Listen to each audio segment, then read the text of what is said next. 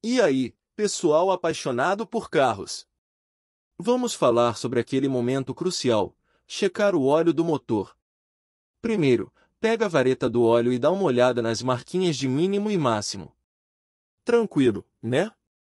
Se a marquinha tá no mínimo, significa que seu carro bebeu um litro de óleo. Isso mesmo, ele queimou um litrão. Mas espera aí, para garantir que a medição está correta, tem umas regrinhas. O carro tem que estar num piso plano e, se você acabou de desligar o motor, espera uns 10 minutinhos. Se não, a leitura pode ficar errada e você pode achar que está faltando óleo quando não tá. Outra dica de ouro: dá uma conferida no manual para ver quando é a próxima troca de óleo.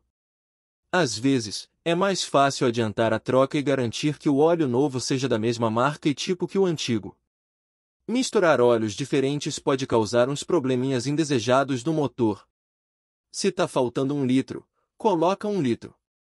Mas se falta só meio litro e você encher até a boca, o excesso de óleo vai dar ruim. Ele pode subir para as velas e causar uma série de problemas.